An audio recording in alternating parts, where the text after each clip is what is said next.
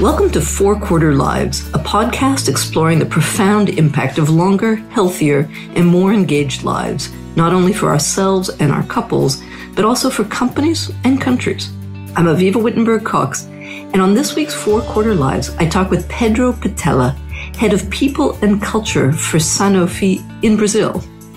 He's also the head of Sanofi's ERG, or Employee Resource Group, on longevity. He shares with us why and how Sanofi launched a global network called Generations, what he's learned about longevity running it, and how the concepts of aging differ across cultures and countries. If your organization is thinking about longevity, this is a great case study of how to start the conversation.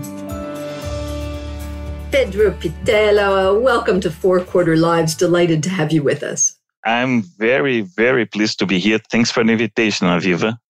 So, before we start, maybe we should introduce your company a little bit just to give some context and background. Tell us a bit about Sanofi. Most people will have heard of it, but its mission, just how big a company is it, where it's headquartered, and when you joined it, perhaps. Well, I joined Sanofi seven years ago in my current job as people head uh, Brazil. People head means HR head. Sanofi is a French pharmaceutical company among the top 10 pharmaceutical companies globally. It's headquartered in Paris, France. We... Always a nice place to be headquartered. That's a good global headquarters for most people. Absolutely. I love Paris. I love Paris. We are 50 years old as a company already, 50 years old, and we have 100,000 employees worldwide. We operate in more than 100 countries with 70 plants, and we have four global business units. So it's a very diversified company ranging from vaccines to consumer healthcare to general medicines up to specialty care. I mean, rare disease, oncology, immunology. So it's a very diversified company. Fantastic. Okay. Having lived myself a long time in Paris, I know it well. So uh, lovely to connect a little bit through this.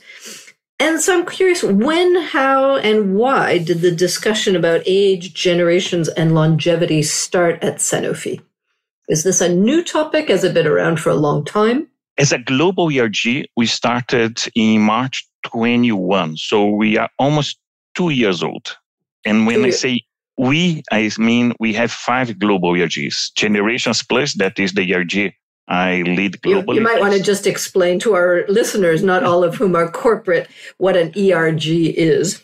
Okay, sure. ERG stands for Employee Resource Groups. That's the way we organize our diversity, equity, and inclusion strategy and action plan. So we have five employee resource groups, five ERGs uh, globally. And we also have those five ERGs at local level. The number of ERGs, how we are structured locally changed from country to country for many reasons, context, legal, etc.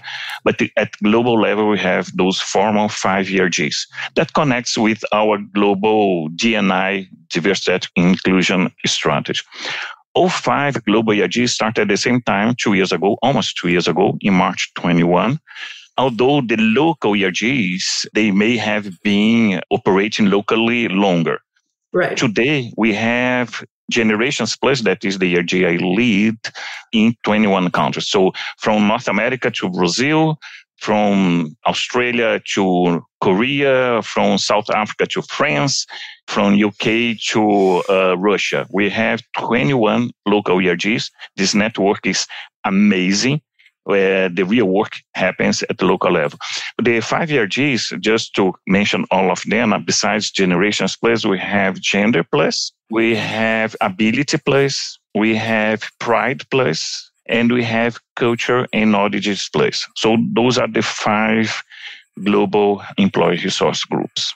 Fantastic. So, just curious, what happened in March 21? We were right in the middle of COVID. What happened in March 21 that suddenly you went from a mishmash, I guess, of a lot of local ERGs to suddenly deciding it was time to unify and globalize the five? It's an evolving story of how we approach DNI globally. As a company, Sanofi has been evolving how we approach uh, DNI. Yep.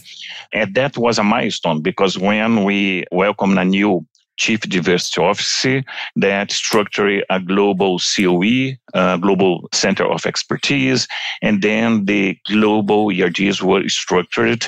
And again, it is not something that has happened all of a sudden. The DNI work has been, you know, very active in Sanofi for longer, but that was a milestone when the five ERGs were formally launched with five global leaders, that structure, a clear strategy. But generations, for instance, we have had generations ERG in UK, for instance, for many, many years. So each country has a different story, different needs, different priorities. So that was a moment in time that we said, okay, we need a global orchestration. We need a kind of governance so it can be even more impactful. Okay, so I'm I'm fascinated to hear that generations actually then started with all the others. So that's not like it's a new topic. It was really begun at the same time, but that it actually has its origins many years ago in the UK any idea why the UK got started early just because it's a hot topic up here? It's a hot topic. Frankly, I don't know which local ERG is the longest. I know that, for instance, the new ones are France. France is one of the new one. As a matter of fact, the newest one. North America is a new one but we have some local ERGs that have been there for many, many years. UK, I said, Australia, Italy, Germany, Lots of fast aging countries. So that shouldn't come as a surprise. So tell me what's been done. It's coming up to two years old, I guess, just about. What's been done? Who's involved? Has it had any impact yet? What are you seeing? And what have you learned on this journey? A lot. I have learned a lot. Well, first of all, uh, what's our ambition as a ERG? Our ambition is to embrace people of all ages so it's not only older or younger, it's embracing people of all ages. But obviously, we have a different priority depend of the country. You know, if yeah. you go to Japan, it's yeah. different from UK or, or, France. So in Japan, our gap is how we attract younger talents. Because this is a very unique country with a demographic that is very unique. If you come to Brazil, my hometown, talking from Sao Paulo, it's the opposite. How yes. we keep our older employees longer in the company, how we attract older employees. So the challenge changes from country to country, but what we have in common is the demographic is changing, regardless where you are. So how we cope with this changing? It's yeah. interesting because other day I went to ChatGPT and I asked the five big trends that are shaping the humankind? Very broad question. And ChatGPT came to me with six, seven uh, global trends. DNI is one of the global trends. Other global trend was longevity and yeah. the demographic shift. But what attracted my attention is that when I read the description about DNI, ageism was not there. It reflects our global conscious about diversity. It mentioned obviously sexual orientation, gender, but no mention about longevity. So although demographic shift was there as a big trend, so it's a paradox. Yes. It's a paradox. It's also relatively new. I think it'll be on all the DNI agendas within a few years. I'm sure you agree. But it's kind of rising up, don't you think? I think your company and your experience is a good indicator that it's. Yeah. Uh, and that's precisely why when we started the ERG, we put four big, big priorities. One is increase the awareness of ageism. Yeah. That's one of the four priorities. We said, well, we don't know what we don't know. So yes. let's start very slowly, first educating Sanofians about what's ageism. Myself, I didn't know about ageism a few years ago. So educating, creating awareness, ageism in the agenda yeah. is very important. The second priority was to nurture the local ERGs, you know, increase sharing, reapply, best practice. The other one was engage with external stakeholders. We have to learn. So how yeah. we engage with external stakeholders, what we're doing now is one example of that. Yep. and the delighted to serve. Thank you. And uh, the fourth one is to change our practice, our policies to become a top employer for people of all ages.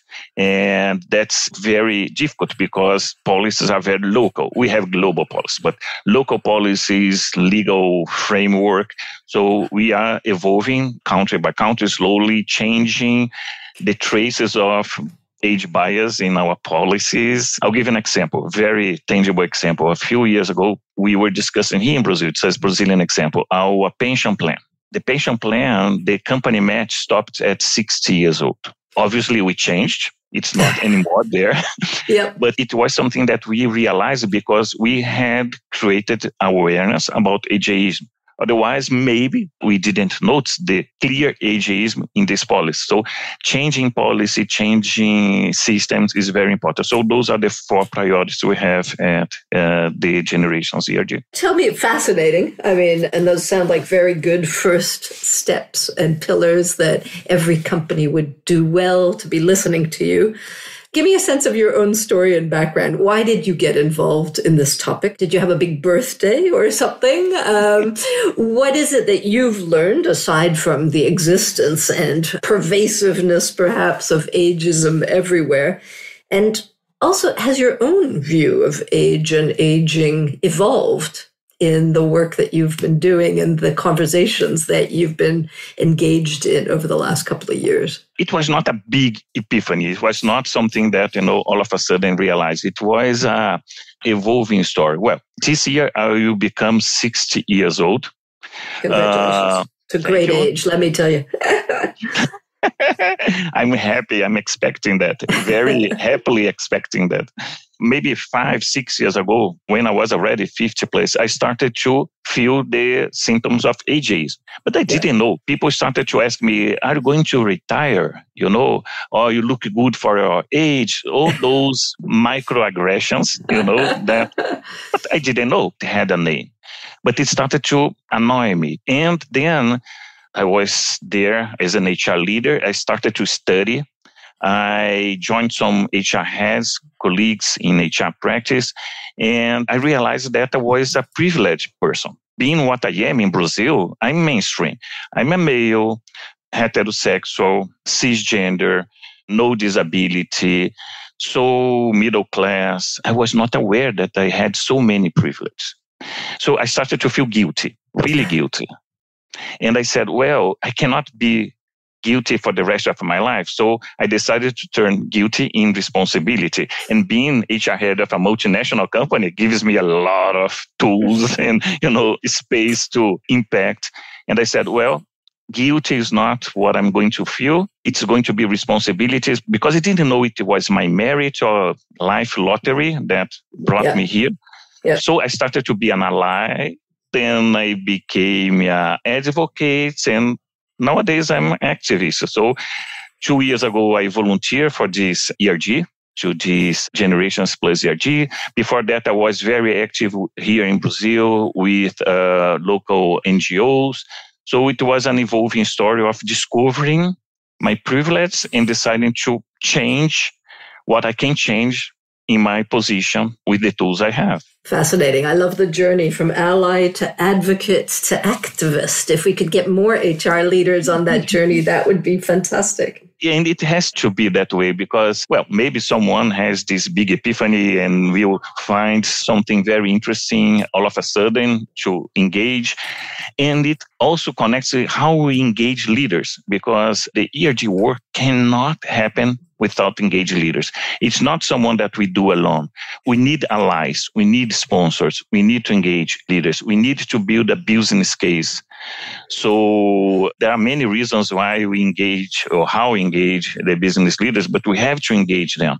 That's my personal story, how I felt passionate about the topic. That's fantastic. And I couldn't agree more that one of the crucial issues on all of these dimensions, but now particularly on the generations one, is how do we engage leaders? So before I move on to kind of how you set up the ERG, I'm just curious what's the business case? What have you built? What have you found? What's your one minute pitch when you're engaging with colleagues or with the external world on the business case for intergenerational everything in business? Maybe it's not one minute, but uh, go ahead. You got it. The well, business what, case. what I keep saying is that not only generations, but all GNI spectrum, people get motivated for maybe one of four reasons. One, social justice people get passionate about social justice, having a company that goes beyond the P&L and, you know, making a social impact.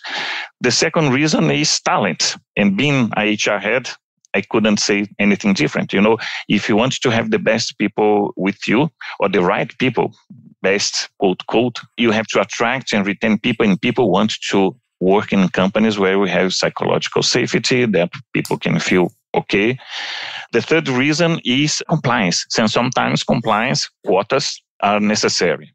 Yep. And the fourth one is P&L. Why not? P&L. If you look at your consumers, in our case, patients, customers, they are from all ages. So if you want to address the market with your product, your service, you have to think about age.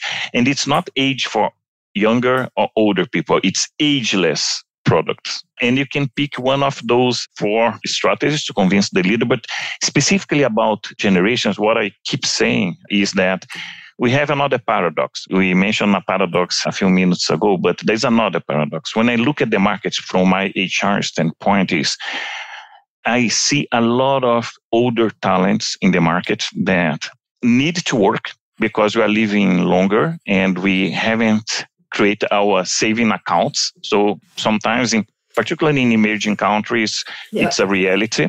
Yeah. So people that need to work. Second, people that can work because we are living longer and we are living better. So we can work. And the third, we want to work because work means health, social health, physical health. So it's very strange because we have a lot of 60 people like me that need want and can work. But when I look at the other side, the companies, we are absolute ignorant, absolute unconscious about that. Yeah. Our practices are still very ageist. And it's strange because our talent pool is shrinking. The younger talents are shrinking. And the other side, there's a big lake that is increasing on 50 plus so it makes no sense. It's another paradox. HR leaders like myself, why we keep fishing in a lake that is shrinking, while on your side there's a big lake. And the consumer, shopper, patients, P&L case. So it's kind of changing the mindset from scarcity to abundance. Because if you think about it's an unsolved problem, let's solve it innovative ways. So the business case is if you want to keep the sustainability of the company, if you want to make a social impact, if you want to attract the best talent, they are all age. If you want to address the vast majority of your market, ageism, longevity, generations is a high priority. Okay, so like many of these business cases, it seems so obvious to you and me sitting here that especially the twin sides of the same coin that consumers and customers are aging fast all over the world and that talents, as you say, are ready and waiting to work. And companies are really seem to be not adopting this very, very quickly. So I'm curious. You've got a pretty clear business case, and I imagine you've been running around the world sharing it. How has it landed? And do you find when people hear it, are they convinced? Is it an easy sell, or are you finding it bumping up against people's deeper ageist reactions? Reality, it's an easy sell, but yeah. harder to implement. People immediately connect, immediately connect. But how we put it in motion, how we put in practice, it's not easy. Again, let me use statistics from my home country, from Brazil. I was born in the 60s, right? So in the 60s, the life expectancy in Brazil was 52. Today is 77. So I saw not in 100 years, in my life, I saw the Brazilians gaining 25 years. years 25 years, more 50% of life. That's amazing. how, what a what gift. To, what a gift. Yes. And our number of kids per family came from 60.3 to 1.7. So do the math. The population is aging. So people don't deny that. People yeah. connect. Maybe they are not aware when I say those statistics, when I mention those statistics, people connect, they understand, they realize, they say, yes, I understand. I was ignorant. I was not thinking about that, but I understand.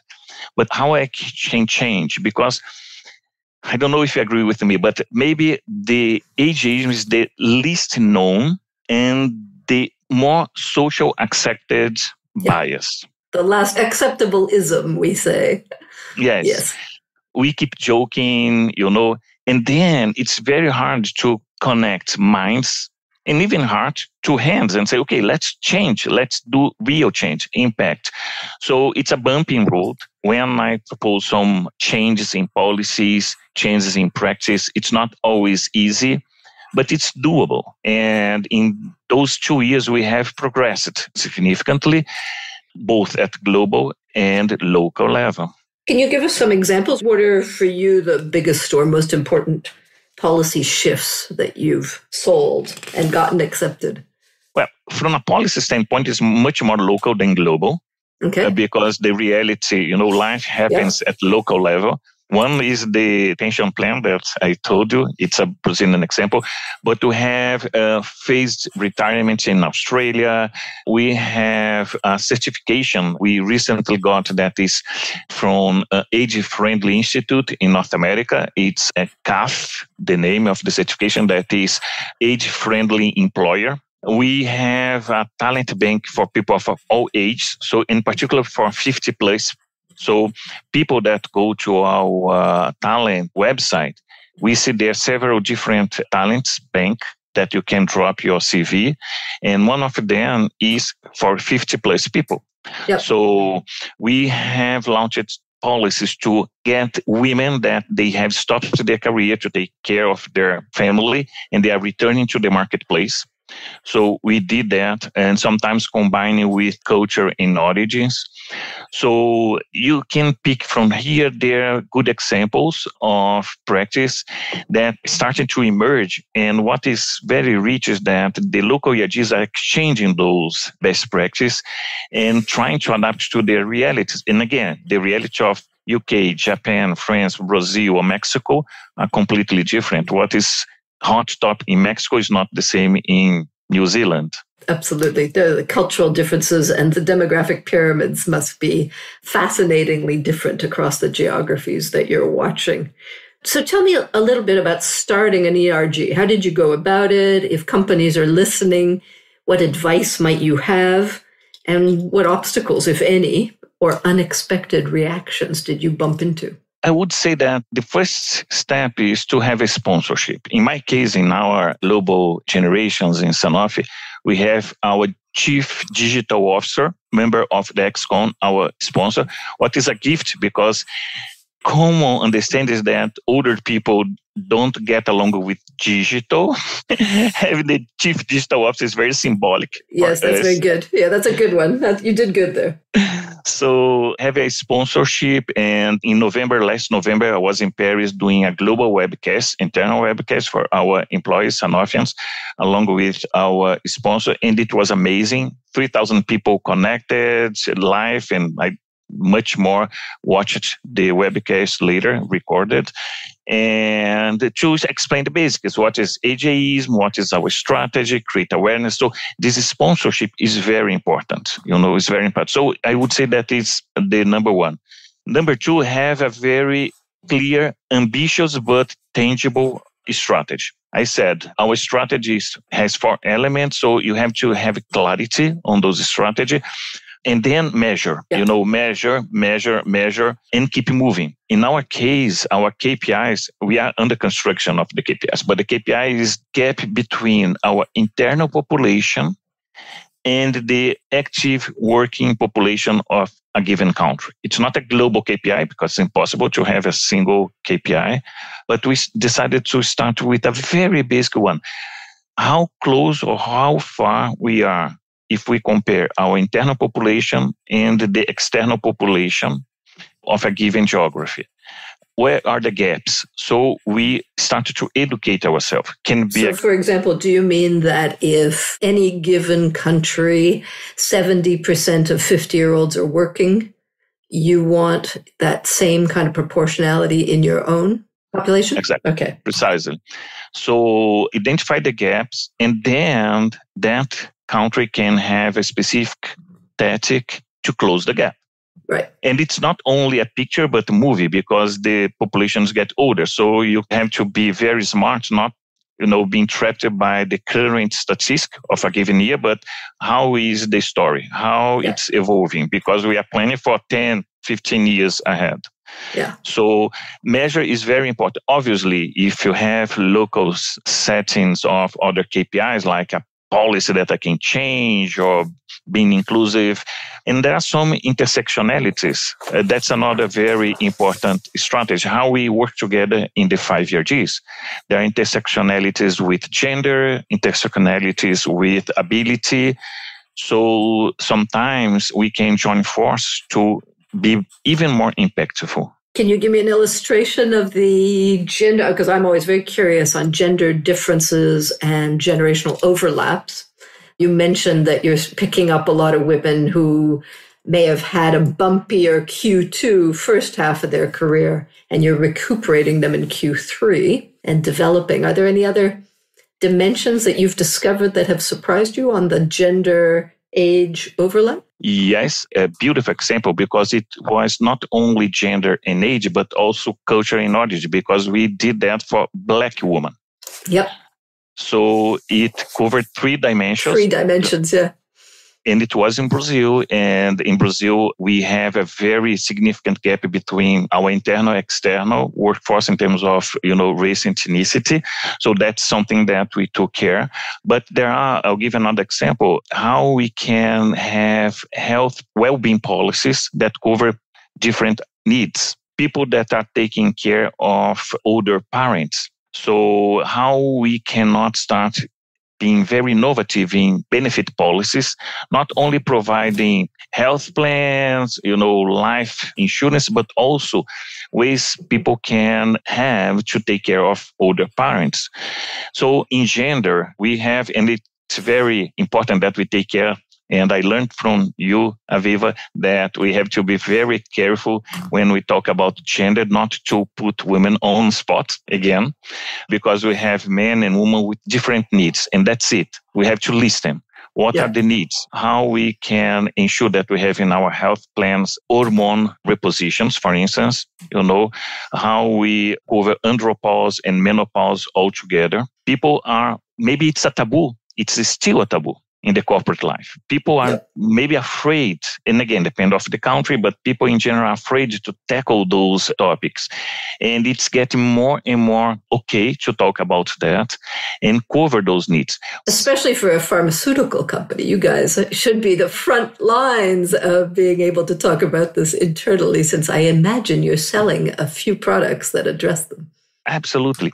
And people feel comfortable. That's my end goal that people feel comfortable to talk. Those are topics that previously were uncomfortable to talk because then we can do something. And again, change a health plan.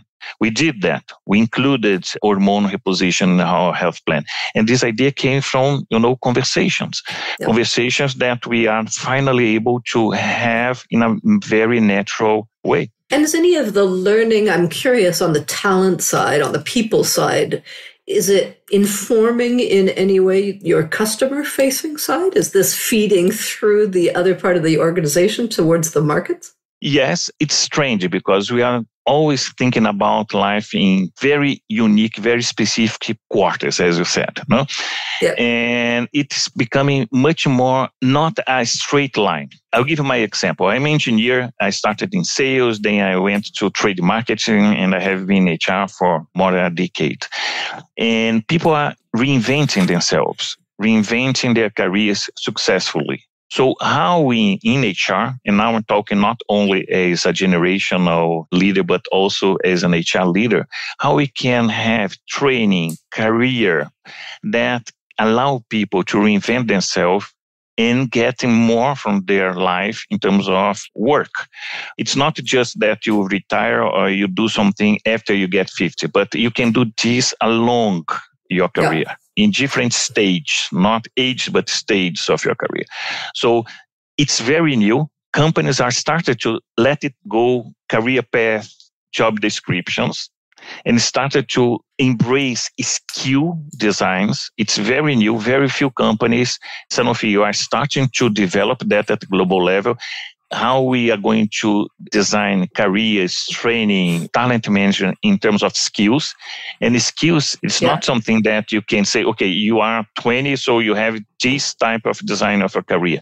So that's something very new. That's the ultimate frontier, how we can allow all of us to have different careers and reinventing our careers and having an impact for many, many years. That's fantastic. Yes, I think the holy grail is to shift away from ages towards exactly that kind of skills and true meritocracy that we always talk about and aspire to, but very rarely when we start digging in on the age front do we discover it's yet been implemented. So, congrats. This sounds like a very innovative piece of work. I'm curious if you're a couple of years into this now, are you seeing the lessons that you're learning spreading into leadership within your own organization? Are people starting to get some momentum on this and traction inside?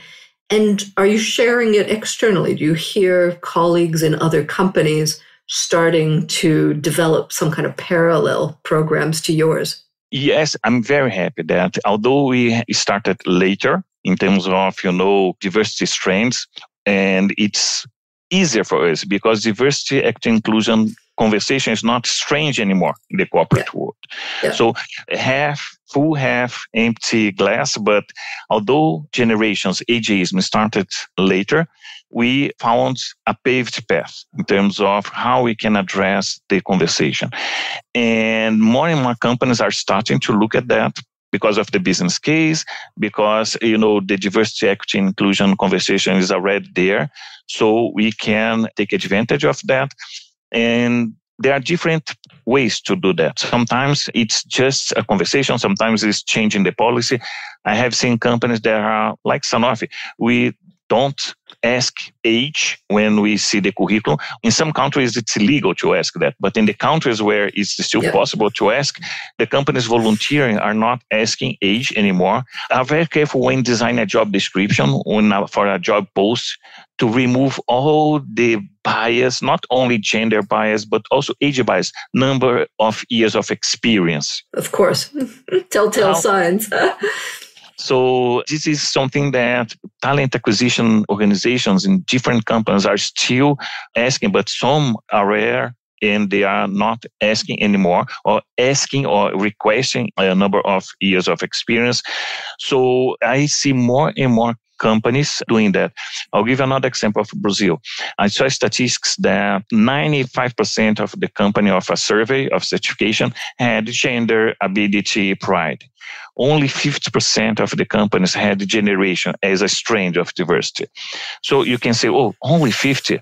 But the previous years was only 35%. Yeah. So the percentage increased 15%. So the biggest change from one year to another. So the conversation has started and it's advancing very fast. And again, it's a business case. I'll conclude by asking you if companies are listening who haven't at all started on this journey, what advice would you give them? How best to start? Well, starting by moving fast as soon as possible. Don't wait to have everything completed, everything neat, everything perfect to start because it will never be perfect. So start by getting a sponsor. A sponsorship, as we mentioned a few minutes ago, it's essential. So get a sponsor. Second, start by small victories, changing one policy, creating awareness, starting the conversation, get in touch with other diversity strengths that are already there that can give you some help to structure your ERG. But having allies and structuring ERG is something that is very important. And don't forget, don't make it very complex, very broad, global. Always think global and local because the impactful changes are going to happen at local level. And finally, what should an individual in a corporate learn about this topic in order to manage their own lengthening career? What advice would you give them? I'm going to quote my colleague, Dr. Alexander Kalache. He's a doctor that came with this idea of four savings to have in your life. You know, the first one is money. You have to have your financial savings to provide you safety, security, so financial saves. The second one is health savings that you can really, really get to your 50, 60 in good shape. And we are doing that. The third one is your cognitive savings, lifelong learning that you keep curiosity that you keep not only your work, but a broad range of topics that keep you yeah. learning all your life. And the fourth saving is the social saving profound, significant relationships that will give you a sense of connectivity, purpose. So those four saves, that was I learned. That's what the majority of people in Sanofi, 50 plus like me, are learning. Because when you get to this age, you feel energized. You feel like you can continue to have a contribution and you have to have those for savings. Pedro, I think that's perfect. I see a piggy bank getting created with four slots for money, health, brain, and relationships. So you're a wonderful example of four. Thank you so much for joining us on Four Quarter Lives. And best of luck in 2024 with getting this scaled across even more than your existing 25 countries. Thank you, Avivah. It was a pleasure to be with you. And thank you for inviting me. We will keep track of what you do next. For more thinking about the impact of our four quarter lives, you can read my column at Forbes and subscribe to my Elderberries newsletter on Substack. Let's design lives that aren't just longer, but better.